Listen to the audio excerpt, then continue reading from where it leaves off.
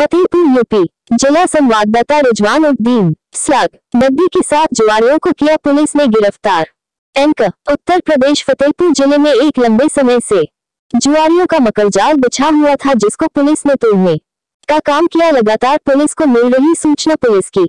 आँखों की किरकिरी बनी हुई थी आखिरकार पुलिस अधीक्षक के निर्देश के अनुसार पुलिस ने अपने मुख वीरों का मकर जाल पूरे ज़िले में बिछा रखा था, ऐसे भी पुलिस अधीक्षक राजेश कुमार सिंह ने बड़े बड़े खुलासे करके फतेहपुर जनपद का गौरव बढ़ाया। आज मुखबिर खास की सूचना पर कल्याणपुर थाना क्षेत्र में भारी जुआ चल रहा था। सभी पुलिस और स्वाद टीम ने मिलकर छापेमारी की, जिसमें दो लाख से अधिक धनराशि नकदी प्राप्त करते हुए ग्यारह जुआरियों को घर पकड़ा, सभी को संबंधित धाराओं के अंतर्गत जेल की सलाखों के पीछे भेजने का काम किया, इनके पास से मौके पर नकदी ताश की गड्डी बिछाने का सामान, पानी की बोतल और भी कई चीज़ें पुलिस के हाथ लगी। वही पुलिस अधीक्षक की मानी जाए तो उनका कहना है की यही जनपद के लिए बहुत बड़ी कामयाबी है, जिसका पूरा श्रेय पूरी पुलिस टीम व एसओजी टीम को जाता है, जिन्होंने मेहनत करके इन जवानों को घर पकड़ा और एक बड़ा नेटवर्क का खुलासा किया।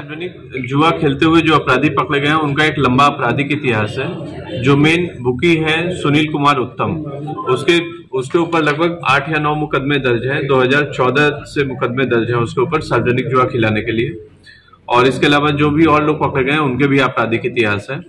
आ, इस संबंध में चौकी प्रभारी जुआड़ी पकड़े गए हैं क्या है पूरा मामला कितना क्या बरामद हुआ इनके पास से?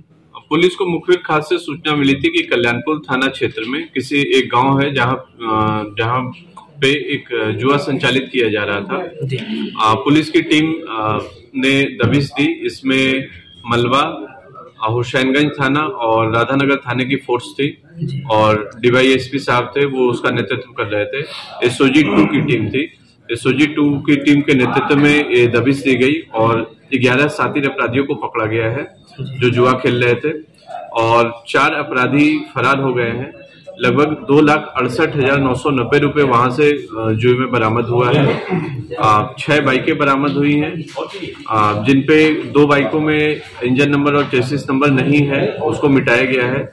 इन सब आधारों पर कल्याण थाना कल्याणपुर में 220 बटे बाईस मुकदमा पंजीकृत किया गया है। तीन बटे चार पब्लिक गैम्बलिंग एक्ट और 420, चार सौ सड़सठ अड़सठ आदि धाराओं में मुकदमा पंजीकृत किया गया है।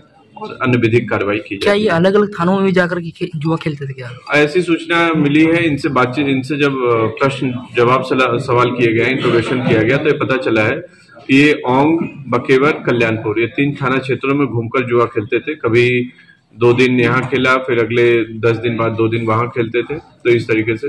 तो मुखबिर खास की सूचना सटीक सूचना पे ही कार्रवाई की गई।